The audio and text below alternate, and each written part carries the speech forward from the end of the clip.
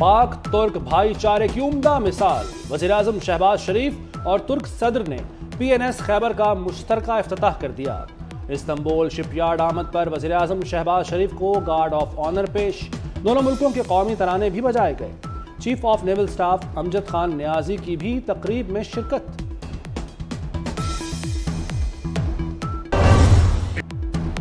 इमरान खान की जान को खतरा एजेंसियों का रेड अलर्ट है। जलसे के स्टेज को बुलेट प्रूफ रखा जाए। इमरान साहब बेमकसद एहतजाज मुलतवी कर दें। वजर दाखिला राना सनाउल्ला ने पीटीआई को खबरदार कर दिया। कहा, आपको पिंडी से इलेक्शन की तारीख नहीं मिलेगी। इमरान खान किसी सूरत कामयाब नहीं हो सकते। पार्लियामेंट में वापस आए। वजर दाखिला का इमरान खान को नवाज़ शरीफ, शहबाज शरीफ और आसिफ जरदारी समेत दीगर सियासतदानों से मुलाकात का मशवरा।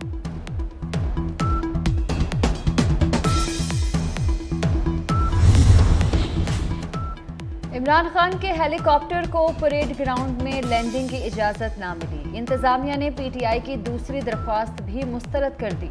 डिप्टी कमिश्नर कहते हैं, बाकायदा बयान हल्फी मौसू ना होने पर लैंडिंग की इजाज़त नहीं दे सकते। इमरान खान ने आज तक जो भी मामला उठाया, खुद उससे पीछे हट गए। अमेरिका और स्टैब्लिशमेंट पर इल्ज़ाम लगाते थे, खुद पीछे हो गए। वजर दिफा ख्वाजा आसिफ बोले इमरान खान की हकीकत उनके वर्कर्स के सामने आ गई। सियासतदान असूलों पर चले तो किसी इदारे को हदूद कबूर करने का मौका ना मिले।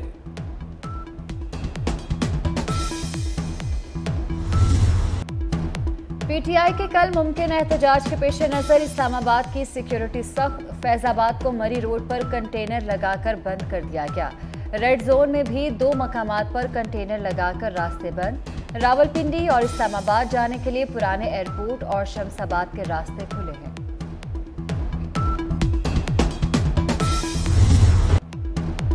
नए आर्मी चीफ और chairman joint chiefs of staff की तकर्री का नोटिफिकेशन जारी। जनरल आसिम मुनीर और जनरल साहिर शमशाद मिर्ज़ा की तकर्री फौरी तौर पर नाफजुल अमल होगी। जनरल आसिम मुनीर 29 नवंबर को कमांड संभालेंगे। जनरल साहिर शमशाद मिर्ज़ा 27 नवंबर को बतौर chairman, joint chiefs of staff committee की जिम्मेदारियाँ संभालेंगे। जनरल कमर जावेद बाजवा की रिटायरमेंट का इतलाक 29 नवंबर से होगा। जनरल नदीम रजा 27 नवंबर से रिटायर होंगे।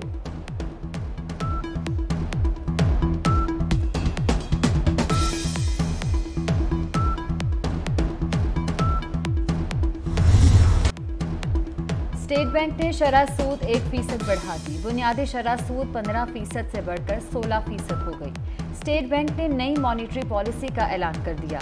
कहा, महँगाई का दबाव तो से ज़्यादा मज़बूत और मुसलसल रहा। माली इसकाम को दरपेश खतरात काबू में रहेंगे। पाकिस्तान रेलवे की आमदन के मुकाबले अखराज पचास फ़ीसद जायद निकले। कौमी असम्बली इजलास में वजारत रेलवे की जानब से तहरीरी जवाब पेश। दस्तावेज़ के मुताबिक अप्रैल और अक्टूबर के दौरान रेलवे खसारा 35 अरब 31 करोड़ रुपए रहा। रेलवे की आमदन 33 अरब और अखराज उनहत्तर अरब रुपए से जायद रहे। इमरान खान ने आज तक जो भी मामला उठाया, खुद उससे पीछे हट गए। अमेरिका और स्टैब्लिशमेंट पर इल्ज़ाम लगाते थे, खुद पीछे हो गए। वजर दिफा ख्वाजा आसिफ बोले, इमरान खान की हकीकत उनके वर्कर्स के सामने आ गई। सियासतदान असूलों पर चलें तो किसी इदारे को हदूद कबूर करने का मौका ना मिले।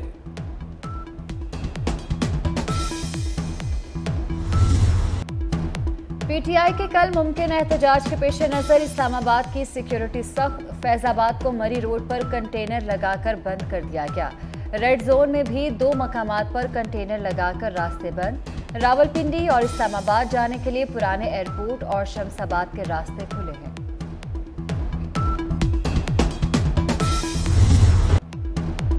नए आर्मी चीफ और chairman joint chiefs of staff की तकर्री का नोटिफिकेशन जारी। जनरल आसिम मुनीर और जनरल साहिर शमशाद मिर्ज़ा की तकर्री फौरी तौर पर नाफजुल अमल होगी। जनरल आसिम मुनीर 29 नवंबर को कमांड संभालेंगे। जनरल साहिर शमशाद मिर्ज़ा 27 नवंबर को बतौर chairman joint chiefs of staff committee की जिम्मेदारियाँ संभालेंगे। जनरल कमर जावेद बाजवा की रिटायरमेंट का इतलाक 29 नवंबर से होगा। जनरल नदीम रजा 27 नवंबर से रिटायर होंगे।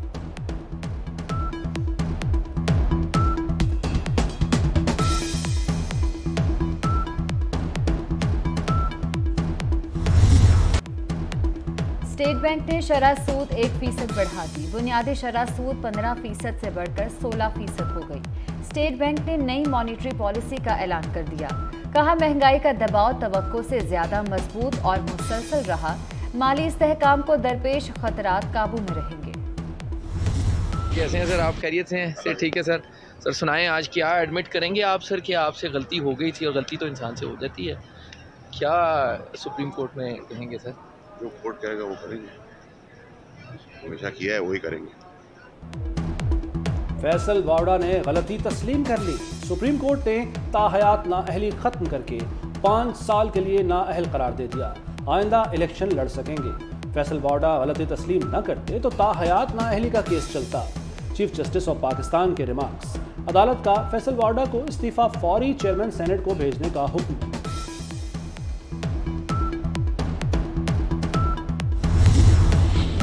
वज़ीर अजम शहबाज शरीफ और हमजा शहबाज के खिलाफ मनी लॉन्ड्रिंग केस में पेशरफ नैब के गवाह ने दोनों को क्लीन चिट दे दी। गवाह के मुताबिक शहबाज शरीफ और हमजा शहबाज के खिलाफ मनी लॉन्ड्रिंग के कोई शवाहिद नहीं मिले। गवाह तजमुल ने दो कंपनियों के बैंक अकाउंट्स का रिकॉर्ड पेश कर दिया।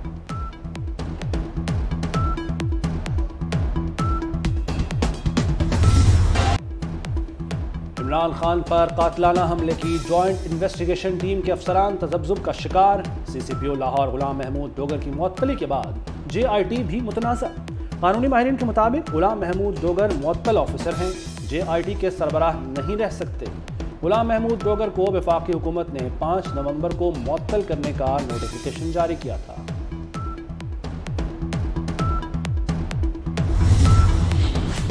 सलीम मलिक खुद गर्ज और मनफी इंसान है। पहले दौरे में मुझे कपड़े और जूते साफ़ करने का कहा। सबक कप्तान वसीम अकरम ने अपनी किताब सुल्तान में बड़े इल्ज़ाम लगा दिए। कहा, रमीज राजा स्लिप में कैच पकड़ते कम और गिराते ज़्यादा थे। जावेद मियादाद ने पहले दौरे पर मुझे बैटिंग के लिए पैड्स दिए। महकमा सेहत खबर पख्तूनख्वा के कोरोना फंड्स में करप्शन का इंकशाफ। नैब खबर पख्तूनख्वा ने इंक्वायरी शुरू कर दी। डायरेक्टर जनरल हेल्थ को तमाम तफसीत के साथ नैब ऑफ़िस पेश होने की हिदायत, कोरोना के हिफाजती सामान की खरीदारी की रसीदें तलब कर ली।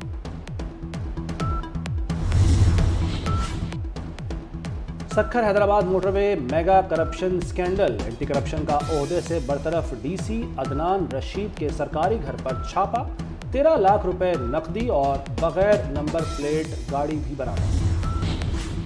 भारतीय बुजदिल फौज और सियासी क्यादत की गीदड़ भपकियाँ मुल्क के अंदर भी झूठे दावों पर सख्त तनकीद सामने आने लगी।